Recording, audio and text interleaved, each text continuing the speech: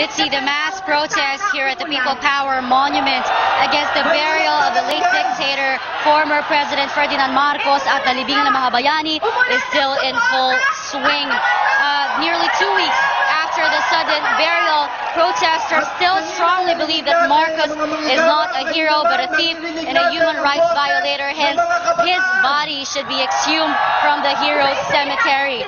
Young people, or the so-called millennials, are on the front line of this protest, led by the Coalition Against the Marcos Burial in LNMB, together with martial law victims and their families.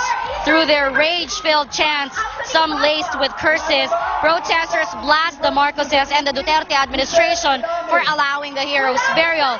Everyone here is glued to the program, led by several artists like Noel Cabangon and the millennial band Cheats. The former head of the National Historical Commission of the Philippines, Maria Serena Diokno, who resigned from her post yesterday, also spoke during the program. Diokno's father, Jose Diokno, was a nationalist who was detained under martial law. Essentially, protesters say this mass action called Siklab Bayan aims to hold the Duterte administration fully accountable for the secret burial of former President Marcos. Protesters relive the crimes of the Marcoses that the Marcoses have committed during the martial law, and the millennials respond with a bit of anger and much energy.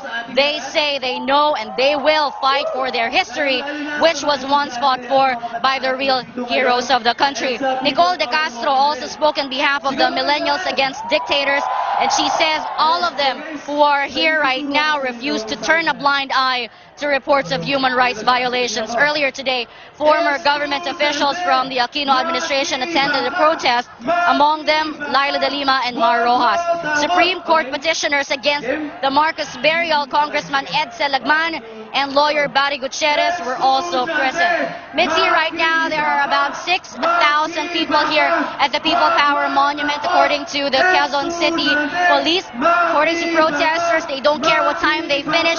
They will stay here until they end the program, and this will definitely not be the last of their mass actions against the burial of late dictator, former President uh, Marcos at the Libingan ng mga Bayani. Mitzi. It looks like they'll still be going on for quite a while there. Thank you very much, Camila Abadisha, reporting to us from the People Power Monument. President